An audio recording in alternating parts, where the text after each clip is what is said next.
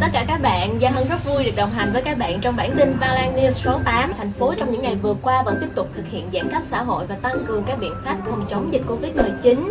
Ai trong chúng ta thì cũng mong là mọi việc sẽ mau chóng trở lại bình thường để chúng ta có thể đến trường học tập và làm việc. Và khi chúng ta ở nhà để tránh dịch Covid-19, các bạn đừng quên đón xem bản tin Văn News phát sóng mỗi tối chủ nhật hàng tuần để chúng ta có thể gắn kết hơn với các hoạt động cũng như là chuyển động ở trường Văn Lan các bạn nha.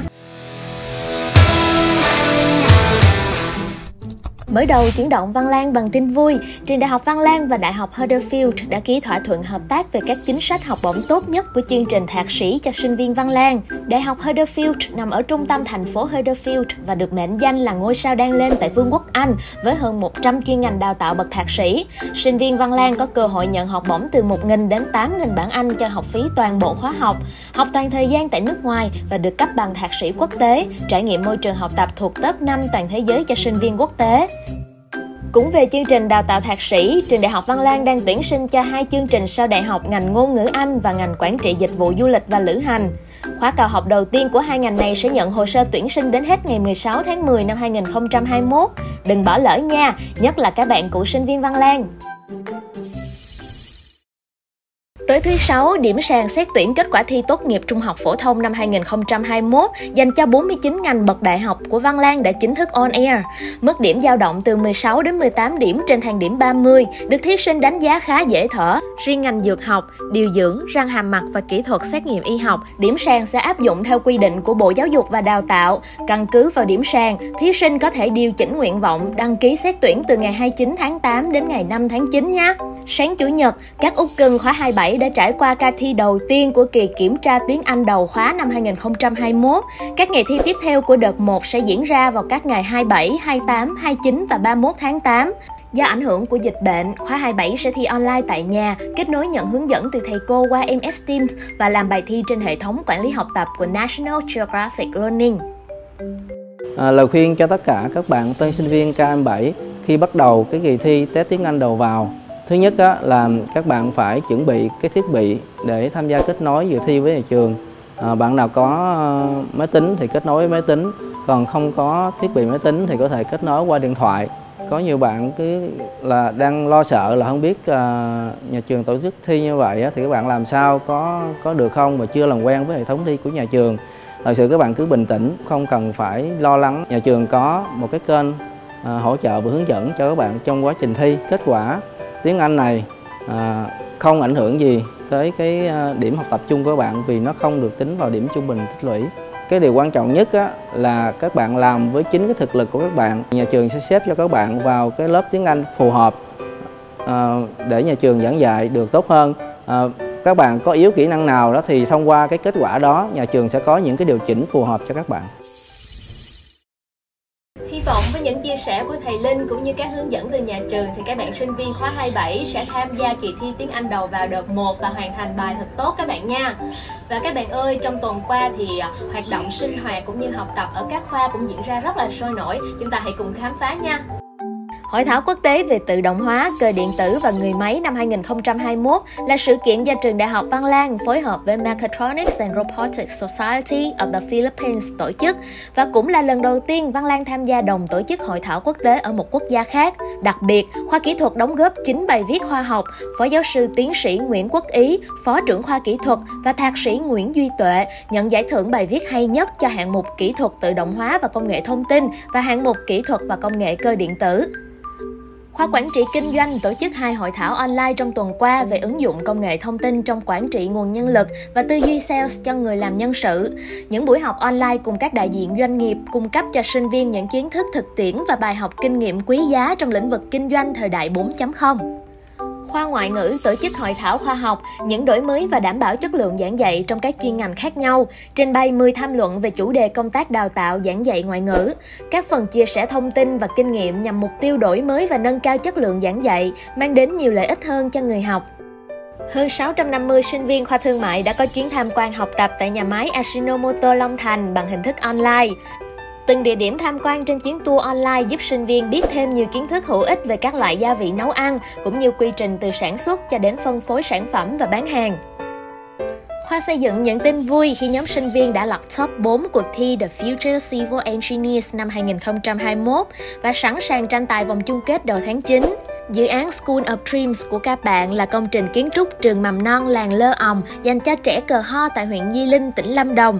Dự án gây ấn tượng vì vật liệu vỏ trấu cà phê mới mẻ và thông điệp nhân văn gửi gắm vào kiến trúc mang tính biểu tượng văn hóa Tây Nguyên.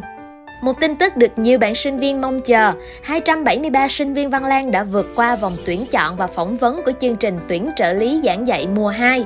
Trước khi chính thức bắt đầu công việc trong học kỳ 1 năm học mới, các bạn sẽ phải tham gia một trong 6 buổi tập huấn nâng cao được tổ chức online vào các ngày 24, 25, 26 tháng 8. Chúc các bạn tập huấn thật tốt và đạt kết quả như ý nha! Tuần lễ sinh hoạt công dân online năm học mới đã chính thức khởi động với sinh viên các khóa khoa công nghệ và khoa xã hội và nhân văn trên nền tảng MS Teams. Đây là dịp gặp gỡ đầu năm học giữa ban chủ nhiệm khoa, thầy cô và sinh viên các khóa 24, 25 và 26. Chương trình sinh hoạt công dân sẽ kéo dài đến tháng 9 theo lịch nhà trường và khoa đã thông báo với các bạn nhé. Nguồn năng lượng tươi trẻ thổi bừng sức sống của Văn Lan trong những ngày giãn cách vừa qua, đó chính là từ các bạn sinh viên. Và từ những hoạt động như là chiến dịch mùa hè xanh online, các cuộc thi phong trào, những câu chuyện đẹp của các cá nhân đã làm nên một tuần sôi động và nhiều thông tin giá trị tại Văn Lan trên cộng đồng mạng xã hội. Thầy cô làm gương trước nè, Công đoàn Trường Đại học Văn Lang tuần qua đã phát động cuộc thi thể thao online rèn luyện sức khỏe và tinh thần trong thời gian giãn cách xã hội. Thầy cô quay lại quá trình thực hiện nội dung thi đấu gồm chống đẩy, cơ bụng khỏe, thăng bằng để gửi dự thi, trông đợi những video tập luyện dẻo dai, khỏe khoắn từ các thầy cô. Còn với sinh viên Văn Lang, hot trend tuần qua mang tên Thử thách 7 ngày sống xanh, một phong trào do đội hình môi trường của chiến dịch mùa hè xanh năm nay phát động. 7 ngày sống xanh khuyến khích sinh viên thực hiện tinh thần sống xanh, sống khỏe tại gia thông qua những hoạt động gần gũi như dọn dẹp các học tập, chia sẻ thực đơn ăn uống khoa học, trồng cây xanh hoặc sáng tạo sản phẩm mang thông điệp bảo vệ môi trường. Tháng 8 được nạp thêm nhiều năng lượng khi Văn Lang đang tăng tốc cùng nhiều hoạt động phong trào sôi nổi, đặc biệt là các chủ đề cổ động phòng chống dịch Covid-19 để Văn Lang News gửi bạn một số option nhé. Đầu tiên là cuộc thi lan tỏa thông điệp tích cực trong mùa dịch do fanpage truyền hình Văn Lang phát động. Tiếp theo là Sloggers Covid ký, chia sẻ hình ảnh, video cảm nghĩ của bạn trong mùa dịch. Hoạt động này nằm trong khuôn khổ cuộc thi Slog Challenge do khoa thương mại tổ chức. Nếu bạn là sinh viên khối ngành sức khỏe, bạn có thể tham gia cuộc thi online đánh bay Covid Việt Nam khỏe mạnh bằng cách quay video ngắn truyền tải thông điệp tích cực động viên các y bác sĩ tuyến đầu chống dịch. Thay vì lướt TikTok mỗi đêm, bạn có thể thay đổi khẩu vị bằng hai chương trình radio tiếp lửa động lực của câu lạc bộ kỹ năng ba lô xanh và câu lạc bộ báo chí hoặc quan hệ công chúng truyền thông nha. Dù cho khó khăn, chẳng cần nhớ tên,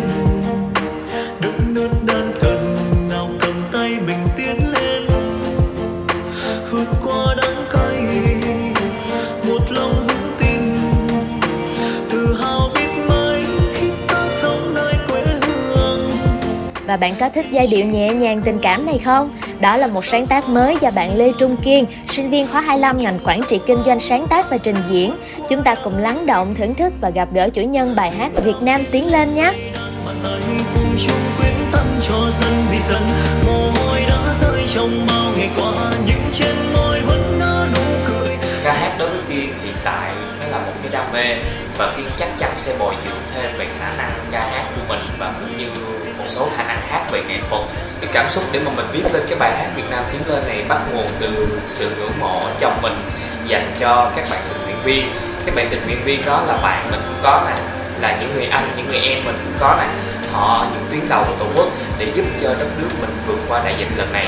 Thì à, thật sự rất là ngưỡng mộ và biết ơn họ chính vì điều đó mà Kiên đã sáng tác ra bài hát này để mà gửi tặng nhằm ủng hộ tinh thần của họ một chút nữa thôi. Rồi chúng ta sẽ vượt qua tất cả một chút nữa thôi. Chúng ta sẽ được trở lại trường và nhìn thấy nhau.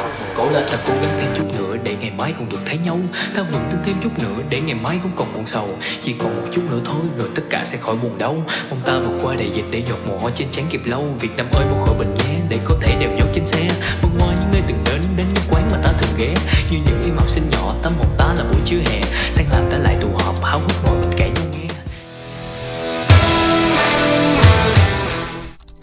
Covid-19 xuất hiện đã làm xáo trộn không ít kế hoạch học tập ở nước ngoài của nhiều bạn trẻ.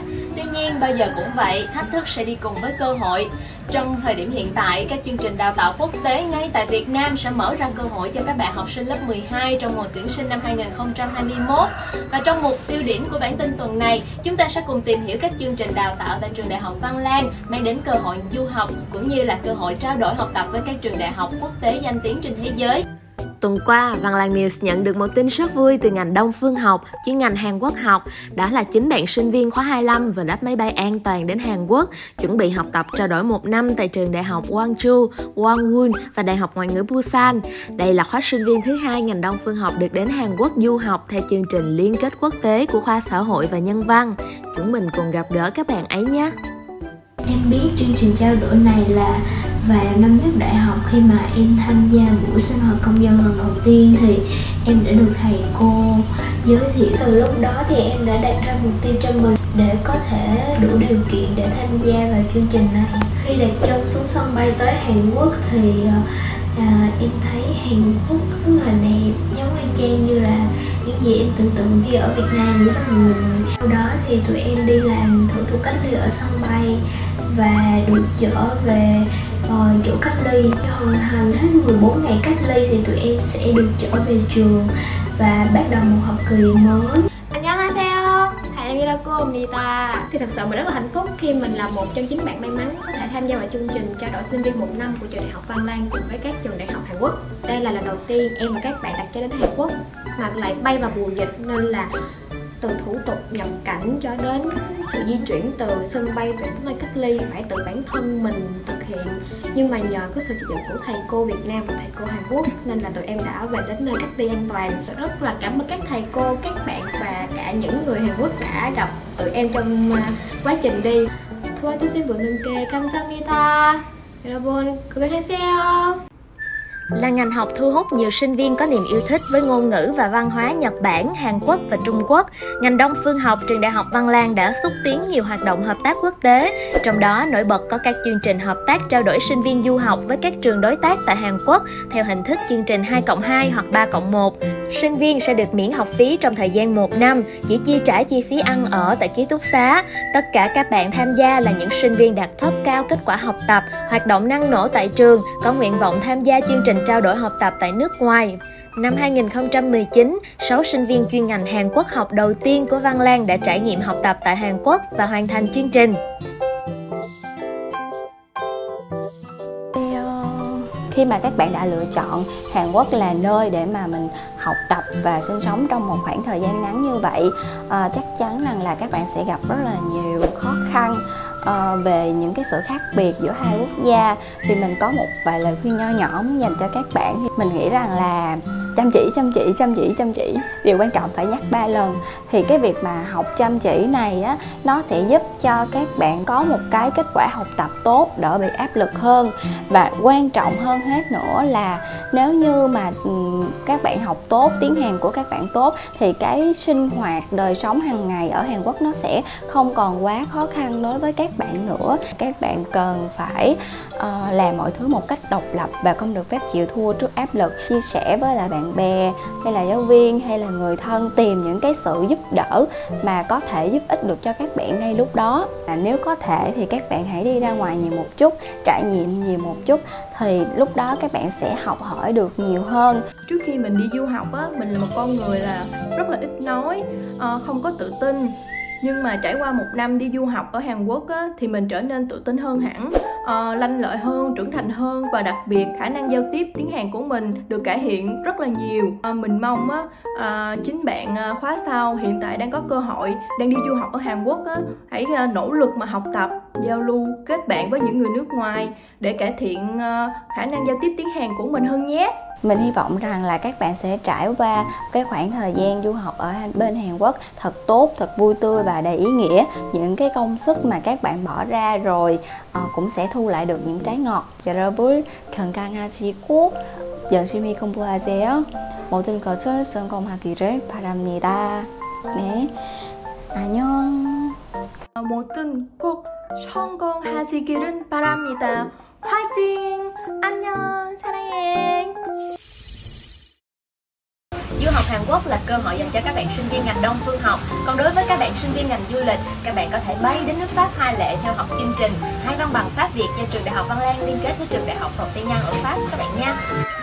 Từ năm 2009, khoa du lịch trường Đại học Văn Lang ký kết chương trình liên kết với Đại học Phật Thi Nhân, đào tạo chương trình hai văn bằng Pháp Việt ở hai ngành, quản trị khách sạn và quản trị dịch vụ du lịch và lữ hành. Sau nhiều năm đào tạo, chương trình khẳng định được uy tín, được các bạn trẻ quan tâm và có lượng sinh viên đăng ký theo học tăng dần mỗi năm.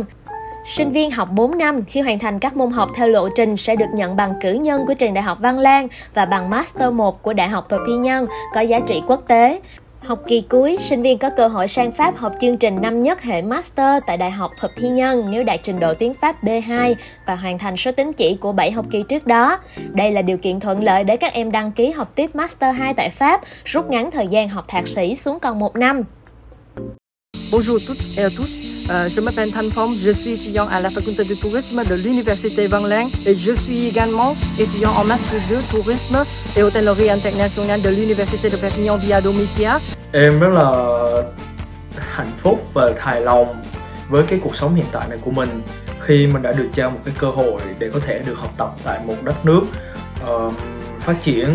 Hơn một năm qua ở Pháp, điều khiến mình hài lòng nhất đó chính là mình có cơ hội được tiếp cận, trải nghiệm được cái nền văn hóa giáo dục tiên tiến và đồng thời đó cũng là cơ hội để cho mình được khám phá và du lịch tại các quốc gia trong khối liên minh châu Âu. Mục tiêu của mình sẽ tiếp tục học thêm một năm nữa để hoàn thành được chương trình thạc sĩ 2 và lúc đấy mình sẽ hoàn thành trọn vẹn được uh, chương trình thạc sĩ tại Pháp. Theo bản thân mình nghĩ thì chương trình hai văn bằng phù hợp với tất cả mọi người nếu như bạn có đủ đam mê, đủ bản lĩnh để theo đuổi nó, xem nó như là ước mơ và chinh phục nó bằng chính thực lực của mình và nên nhớ điều quan trọng nhất đó chính là sự cố gắng trong suốt quá trình đào tạo. Bon, je vous souhaite de bien choisir une université que vous aimez. Université de Lang et faculté de tourisme qui vous accueille toujours. Bienvenue. Năm 2021, trường Đại học Văn Lang bắt đầu triển khai chương trình cử nhân quốc tế, cho phép các bạn sinh viên học tập hoàn toàn thời gian tại Việt Nam nhưng vẫn có cơ hội nhận được bằng cử nhân quốc tế đến từ các trường đại học danh tiếng trên thế giới với mức học phí hợp lý. là chương trình đào tạo mở ra cơ hội học tập quốc tế ngay tại Việt Nam cho các bạn sinh viên trong bối cảnh dịch bệnh vẫn còn đang diễn ra. Và chúng ta hãy cùng tìm hiểu xem ba chương trình đó như thế nào các bạn nhé. Đại học Liverpool John Moores và Đại học Newcastle là hai ngôi trường danh tiếng được đông đảo du học sinh trên thế giới biết đến bởi chất lượng đào tạo và nghiên cứu, môi trường học tập hiện đại, sự hài lòng của học viên. Tại Việt Nam, trường Đại học Văn Lang là cơ sở giáo dục đầu tiên liên kết với hai đơn vị này để đào tạo chương trình cử nhân quốc tế. Sinh viên theo học sẽ nhận bằng 100% từ Liverpool John Moores, ngành marketing, ngành quản trị sự kiện và Newcastle, ngành tài chính, ngành kinh doanh quốc tế. Ngoài ra, trường Đại học Văn Lang đã ký kết hợp tác và triển khai chương trình liên kết quốc tế 2 cộng 2 với Đại học Victoria, top 2% đại học hàng đầu thế giới từ năm 2019. Sinh viên học ngành quản trị kinh doanh trong 2 năm đầu tại trường Đại học Văn Lang và 2 năm sau tại Đại học Victoria. Sau khi hoàn thành chương trình đào tạo, các bạn được cấp bằng cử nhân của Đại học Victoria. Đa số học sinh khi nghe đến chương trình quốc tế, các bạn thường e dè và có nhiều nỗi lo về ngoại ngữ và học phí. Ờ, chương trình à, à, liên kết đào tạo của Viện Đào tạo Quốc tế đang dựa trên à, ba tiêu chí knowledge, experience and betterment. Giờ sinh viên sẽ có các hoạt động, có các dự án à, có các chương trình à, kết hợp cùng doanh nghiệp được học tập với giảng viên nước ngoài cũng như là các sinh viên nước ngoài đến đây học tập thì đây cũng là một cái cơ hội để à, rèn luyện cho cho cho chính sinh viên của Văn Lang.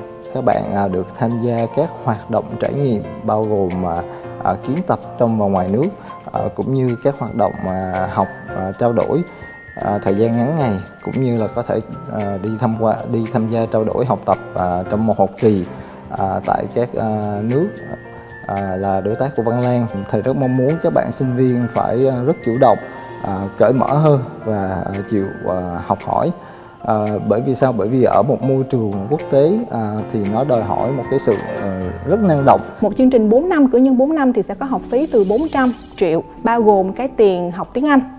À, về hỗ trợ học phí thì hiện tại trường đang có một vài chính sách học bổng, ví dụ như là chính sách học bổng toàn phần à, và 50% cho những bạn có điểm trung bình lớp 12 đạt từ 8 chấm trở lên và cái tiếng Anh IELTS là từ 7.5 trở lên. À, cái thứ hai đó là những cái học bổng mình gọi nôm na là học bổng Going Global là học bổng năm nhất thì ở đây các bạn sẽ được xét nếu như các bạn có cái điểm trung bình lớp 12 từ 7 điểm trở lên và cái điểm tiếng Anh của bạn IELTS là từ ờ, uh, 6 chấm trở lên. Ngoài ra trong quá trình học á, thì các bạn cũng sẽ có những cái giải thưởng uh, về ví dụ như là uh, ambassador là người đại sứ thương hiệu, đại sứ văn hóa. Tất cả những cái giải thưởng này sẽ tạo điều kiện hỗ trợ một phần kinh phí cho việc học của bạn. Trong mùa tuyển sinh năm đầu tiên, Văn Lan đã đón chào những thành viên mới tham gia chương trình đào tạo cử nhân quốc tế. Chúng ta cùng gặp gỡ các bạn ấy nhé! Em đã dành một cái khoảng thời gian rất là dài để tìm hiểu về trường và em được biết rằng á, là trường mình luôn luôn tạo cơ hội uh, những cái khóa hoạt động cũng như là những buổi cho các bạn học sinh với các anh chị đi trước. Văn Lan không chỉ á phát triển mạnh về truyền thông hay là những cái phong trào mà còn uh, có những cái chương trình liên quốc tế rất là phù hợp và tốt cho học sinh.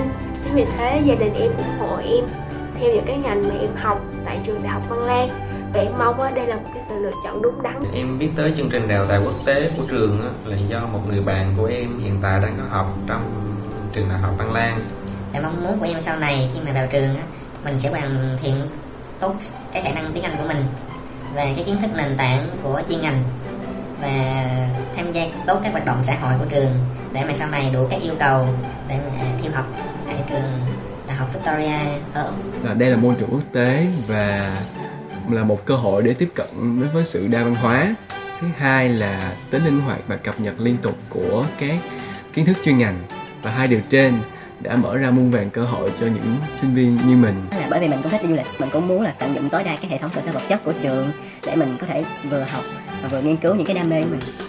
Thì chương trình đào tạo quốc tế thì nó mang lại rất là nhiều lợi ích cho sinh viên khi tham gia.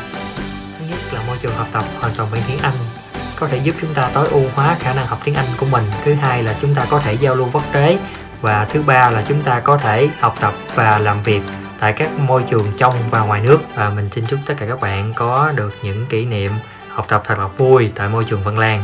Gia đình của mình cũng đã đồng ý. Mặc dù là vấn đề tài chính cũng có gặp chút khó khăn, nhất là trong mùa dịch như hiện nay.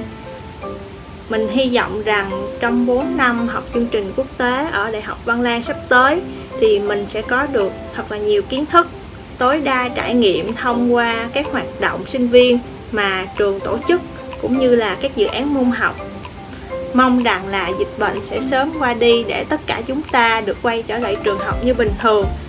Hẹn gặp lại mọi người tại đại học văn lang. Bộ Y tế khuyến cáo người dân thực hiện nghiêm thông điệp 5K để bảo vệ bản thân và cộng đồng.